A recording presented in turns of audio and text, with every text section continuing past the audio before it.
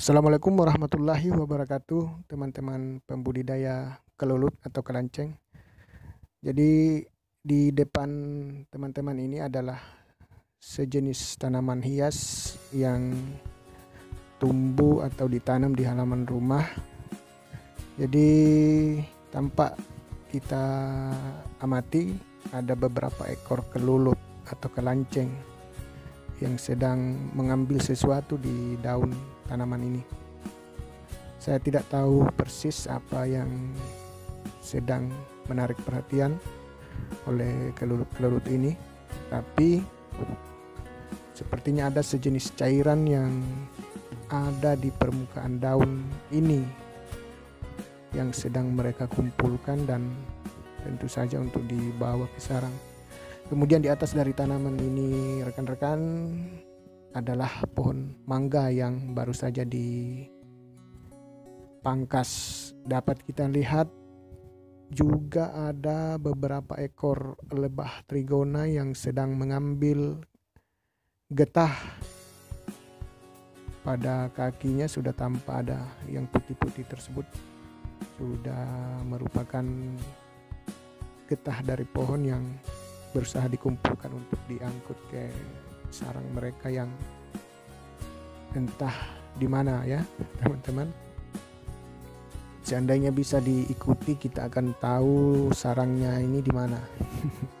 Tapi kan tentu tidak bisa ya teman-teman. Yang jelas di dekat rumah sini banyak sarang dari lebah trigona ini termasuk ada yang sedang berusaha saya pindahkan ke kotak budidaya yang saat ini masih berada di dalam pondasi rumah rumah yang di tempat di tanaman-tanaman ini. Beberapa waktu yang lalu sudah sebagian sudah pindah ke kotak untuk membuat sarang namun ada satu kendala tiba-tiba lebah-lebah pekerja yang sudah berdiam di kotak tersebut musnah begitu saja dan sarang utamanya tertutup dari dalam. Jadi sepertinya lebah yang ada di sarang utama itu menutup akses dari lebah-lebah yang ada di kotak. Dan karena tidak saya perhatikan selama beberapa hari, lebah-lebah pekerja yang ada di kotak itu semuanya mati. Dan jumlahnya sudah cukup banyak.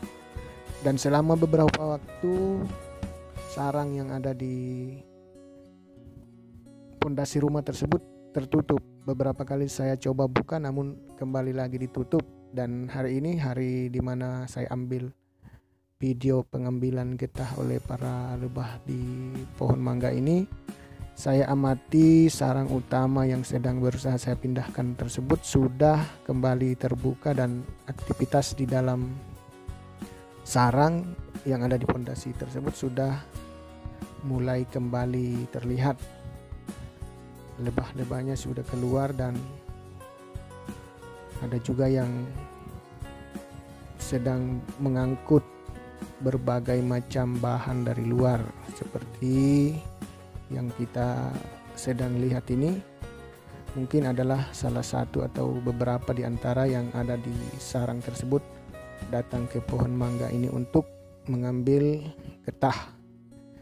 Jadi bagi teman-teman demikianlah informasi sekilas tentang sumber getah daripada lebah trigona. Sekian.